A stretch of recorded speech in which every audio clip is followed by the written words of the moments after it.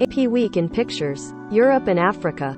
February 25 to March 3, 2022.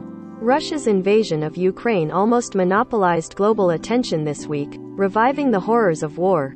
A dead soldier in the snow, destroyed buildings in. People fleeing the conflict. This photo gallery highlights some of the most compelling images made or published in the week by the Associated Press from Europe and Africa. The selection was curated by Lisbon-based photographer Armando Franca.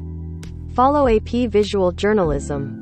AP Images on Twitter. http colon slash slash twitter.com slash app images.